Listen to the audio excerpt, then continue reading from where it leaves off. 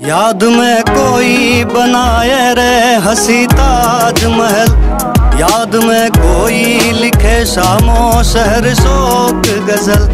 दिल के दरिए में खिलता है ख्वाबों का कमल।